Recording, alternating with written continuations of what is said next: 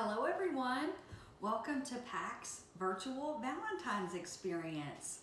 My name is Missy Hillock and I'm the owner of Chateau Bourbon Bed and Breakfast located in Norton Commons and we are also a fellow PAC member and I am excited to be demonstrating for you tonight a great bourbon cocktail that you're going to enjoy while you are preparing and eating your three course dinner that is going to be demonstrated by some of our other fellow PACC members.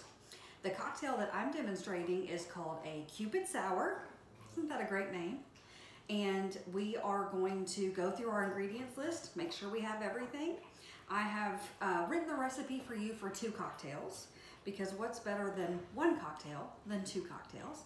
But I'm only gonna be preparing one. So as I demonstrate, make sure you're following the recipe for either one like I'm doing or two if you've got somebody to share it with you.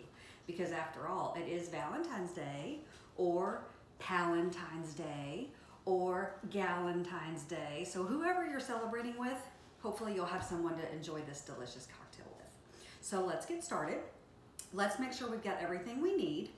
First, we wanna start with the bourbon, the most important ingredient. And you can pick your favorite, whatever you've got on hand. We're gonna use one of my personal favorites, Jefferson's Reserve.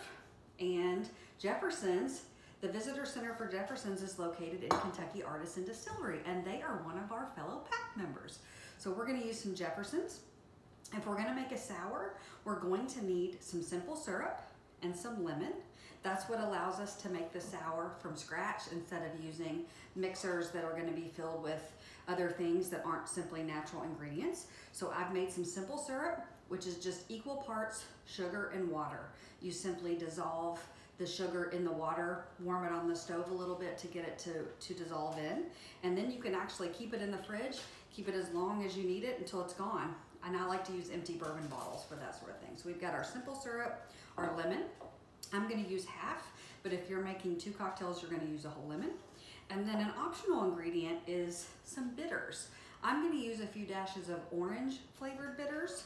If you have bitters, great. If you don't, it's no big deal. Or if you have other flavors, um, regular aromatic bitters would be good, um, and some other, um, you know, whatever your flavor of choice would be just fine. But it's also not necessary. And then our secret ingredient to making the Cupid Sour so pretty and festive is gonna be a little bit of dry red wine. So let's get started. The first thing you'll want to do is grab your shaker and make sure you've got plenty of ice in there. And then you're gonna wanna get your rocks glass or two rocks glasses if you're making two cocktails and go ahead and fill that with ice so you're ready to strain into it. Then we're gonna mix up the drink. So I'm making, like I said, one cocktail. So I'm gonna do two ounces of my Jefferson's.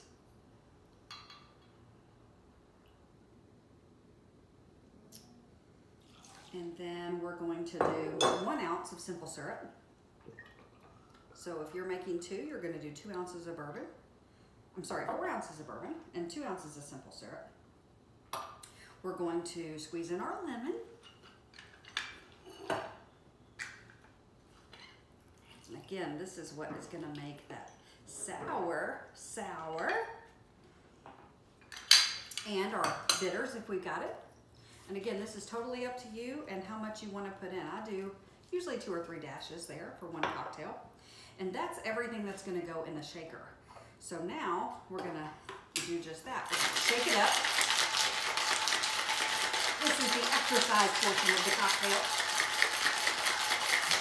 Then we're going to strain that into our cocktail glass.